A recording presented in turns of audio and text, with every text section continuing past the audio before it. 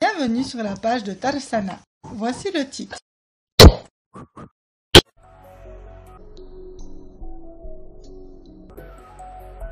Alors, chers observateurs du Proche-Orient, voilà tout juste un mois que l'embargo onusien concernant l'armement iranien a expiré, le 18 octobre dernier.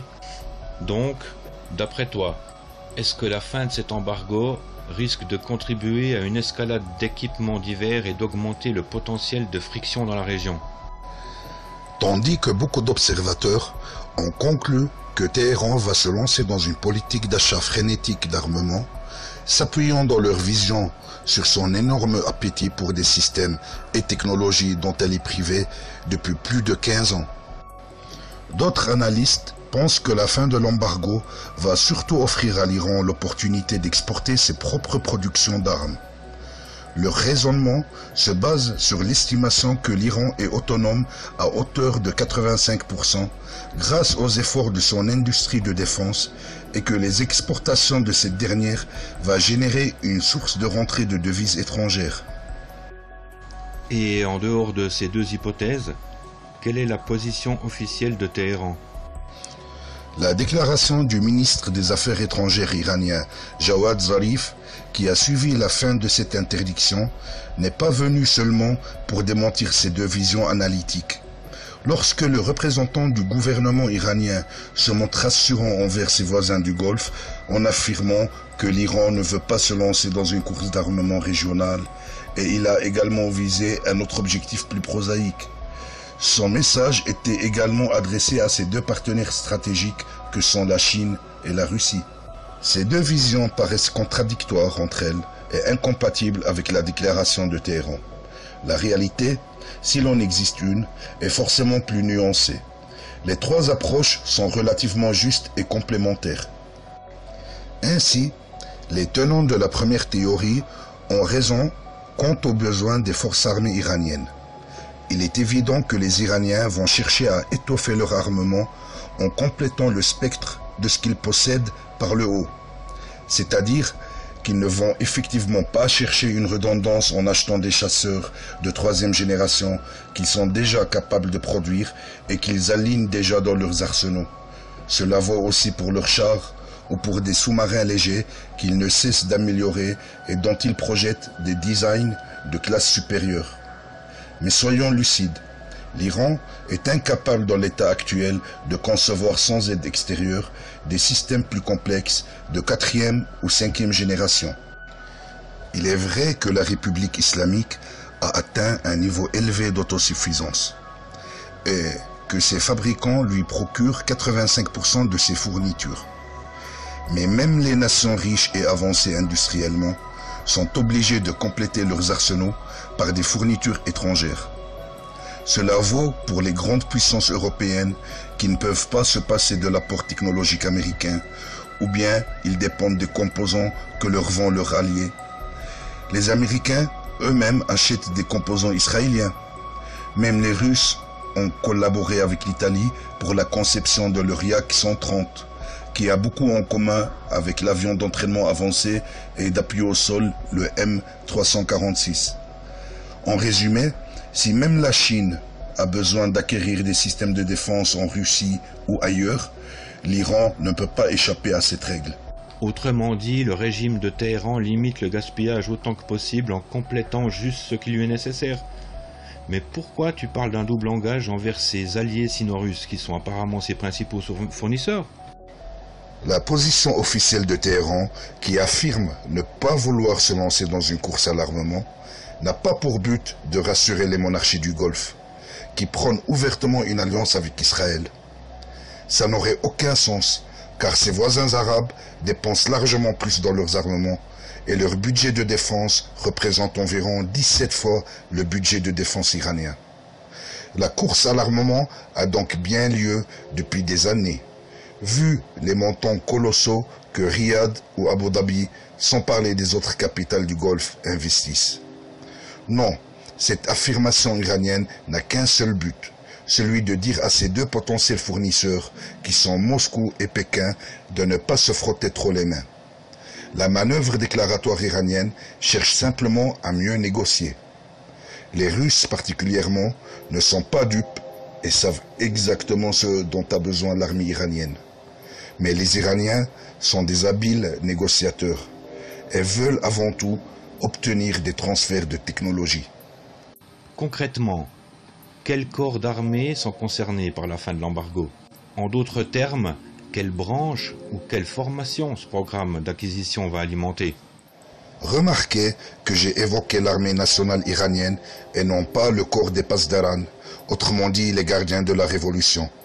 Cela découle de plusieurs facteurs qui seront énoncés dans un raisonnement que je développe ultérieurement. On peut donc conclure que l'Iran n'achètera pas massivement les systèmes étrangers, mais complétera son arsenal indigène avec des armes à prévalue qualitative. On peut imaginer par exemple le scénario suivant. Les forces aériennes iraniennes continueront de compter sur leurs avions de fabrication locale tels que l'Azarakh ou le Saïga de troisième génération pour pouvoir aligner des centaines d'appareils et constituer la colonne vertébrale de l'aviation de combat. Mais dorénavant, ils peuvent aussi compléter leur dispositif par quelques dizaines d'appareils importés plus avancés pour constituer quatre ou cinq escadrons d'élite et de supériorité aérienne. C'est le même cas de figure avec les chars. Les troupes blindées seront toujours équipées massivement de tanks euh, Zulfikar ou Karar. Ce dernier est un char moderne de conception nationale et non pas une copie comme le premier. Mais les meilleures unités blindées seront sûrement équipées par 200 ou 300 machines étrangères de ce qui se fait de mieux dans le monde. La preuve la plus probante de ce que j'avance ici est le fait que l'armée iranienne et le corps des gardiens de la révolution islamique ont déjà commandé 800 chars d'assaut de fabrication locale, notamment des Carrar. Cette nouvelle a, été rapportée le mercredi 18 juillet par la télévision publique. Le vice-ministre de la Défense, Reza Mozaffariniya, a déclaré l'Iran construit 50 à 60 tanks par an, comme l'exige l'armée et le corps des gardiens de la révolution islamique. L'Iran a d'ailleurs déjà présenté le Carrar en mars 2017. Al-Karrar, qui veut dire en arabe et perse l'assaillant, est un tank amphibie iranien sophistiqué et intègre des technologies nationales. Tout ceci semble donc bien indiquer qu'il n'y aura pas d'importation massive. En fait, juste le haut de gamme nécessaire à sa réalité géostratégique, afin de compléter ce que la République islamique ne produit pas déjà et qui correspondra environ à un septième du total Ce ratio entre équipement national et étranger peut varier selon les domaines concernés. Il est sûrement inversé quand il s'agit d'hélicoptères de combat lourds. Il est notable de souligner que l'Iran, qui produit des sous-marins, des fusées spatiales et satellites, et produit aussi des hélicoptères de transport, ne produit aucun appareil d'attaque lourd. Il y a bien un hélicoptère d'attaque qui est produit, mais c'est une version inspirée du Cobra AH-1 américain. Donc, un appareil léger dont la conception est ancienne et aucun équivalent du Longbow Apache américain acquis par les Saoudiens. Donc la question de savoir si l'Iran achètera des hélicoptères d'attaque lourds ne fait aucun doute. C'est plutôt de savoir combien et quoi Téhéran va commander. Est-ce que le 1000 Mi-28 Night Hunter ou le K-52 Alligator que les Iraniens vont choisir? J'ai ma propre idée là-dessus, mais je développerai ce sujet par la suite il sera plus difficile de répondre sur la question du choix sur les futurs chasseurs bombardiers, car les options ouvertes sont beaucoup plus nombreuses. MiG-29 ou 35, Sukhoi 30 ou le Sukhoi 35 semblent les concurrents les plus évidents du côté russe. Côté chinois, le J-20 devrait être le seul appareil à séduire les Iraniens, vu que le J-11 n'est que la copie chinoise du Sukhoi 27 SK russe et que les ingénieurs iraniens sont tout à fait capables à terme de réaliser un chasseur léger tel que le Chengdu 10. Mais là aussi, la question reste à développer. Quelles sont les opportunités d'exportation pour Téhéran? Quel type de matériel, de système et à quel pays pourra-t-il les exporter? Sachant les problèmes liés au lobbying américain et israélo-saoudien. Les inconnus de l'équation sont également les matériels que l'Iran pourra exporter Et qui seront ces clients Tout récemment, des sources étatiques officielles ont annoncé la livraison d'armes iraniennes au Venezuela, par avion cargo et en transitant par la Tunisie.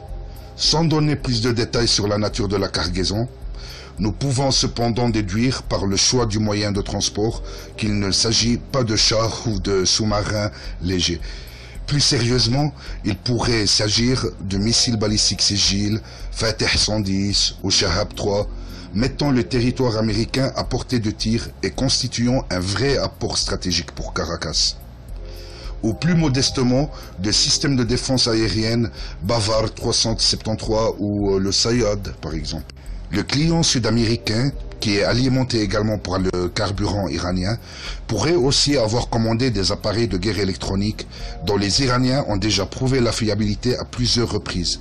Surtout avec la capture très médiatisée des drones américains qu'ils ont réussi à détourner au moins à deux reprises.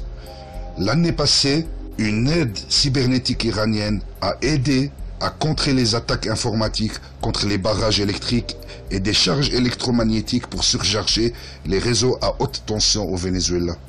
Il y a bien sûr d'autres clients potentiels. Il est connu que Téhéran fournit depuis euh, longtemps et gratuitement des organisations non étatiques comme le Hezbollah au Liban, les Houthis au Yémen, le Hachd euh, en Irak ou le djihad palestinien, ainsi que le Hamas et bien d'autres encore parmi lesquels on peut citer les Fatimiyoun en Afghanistan. Mais cette fois, il s'agit d'accords entre gouvernements et d'exportations officielles, tout comme pour la Syrie. Mais si le critère premier d'importation ou d'exportation est politique, est-ce que cela ne risque pas d'être au détriment d'une certaine efficacité? Pour répondre à toutes ces questions, dans une prochaine analyse, nous allons essayer d'étaler les possibilités et les opportunités qui influenceront les choix iraniens et ceux de leurs partenaires. Si vous avez aimé le contenu, n'oubliez pas de liker, de vous inscrire et de partager.